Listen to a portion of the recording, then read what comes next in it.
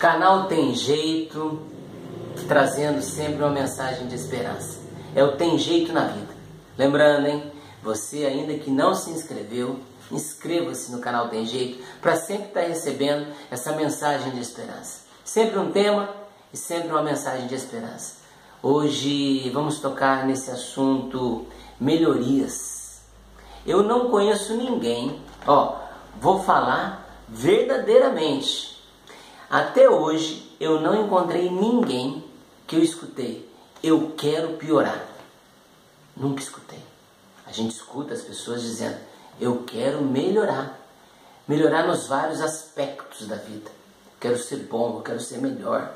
Não como prepotência, arrogância, poder, fama, não. Pessoas que se encontram no dia a dia. Aquele que quer ser um melhor pedreiro, quer ser uma melhor costureira, né? Quer melhorar no bolo que faz. Começou a fazer bolo, aprender a fazer bolo, receita, mas quer melhorar, né? Quer melhorar. Já não é mais aquele bolo que fez no início. O bolo melhorou, o pão de queijo. A gente quer melhorar. A gente quer melhorar em tudo. Melhorar no trabalho, na faculdade. A gente quer melhorar. O atleta quer melhorar. O atleta quer bater recordes. O próprio recorde dele, ele quer bater. Ele quer melhorar. Eu quero melhorar, você quer melhorar, nós queremos melhorar. E tem um lugar, tem um point, tem um point, que é um lugar assim, ó, que dá para melhorar, que dá para exercitar essa melhoria em casa, na sua casa. É ali na nossa casa que a gente pode exercitar paciência, bondade, agradecimento. Bença pai, bença mãe. É exercício.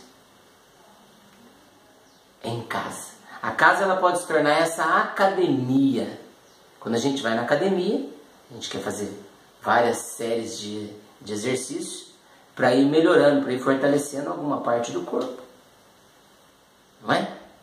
A pessoa que está num tratamento de câncer, ela vai fazer a quimioterapia porque ela quer melhorar, ela quer curar, ela quer sarar. Mas é em casa. É em casa que a gente pode se exercitar para ser pessoas melhores.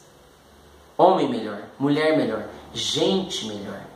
O filho melhorar com o seu relacionamento com o pai. A filha melhorar o seu relacionamento com o pai, com a mãe. Os pais melhorarem o seu relacionamento com os filhos se vai acontecendo esse exercício de bondade dentro de casa, compreensão,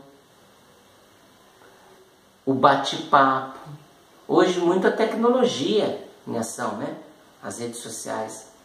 Mas a gente precisa exercitar essa bondade, essa paciência dentro de casa. Quer ver um, uma atitude legal de exercício? O filho se levanta e fala assim: Eu vou lavar a louça em casa.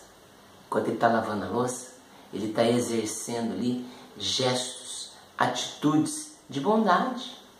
E vai somando com a casa, com o lar. É bom ser uma pessoa melhor fora de casa? É legal. Mas e dentro de casa? Pense nisso. Tem jeito na vida.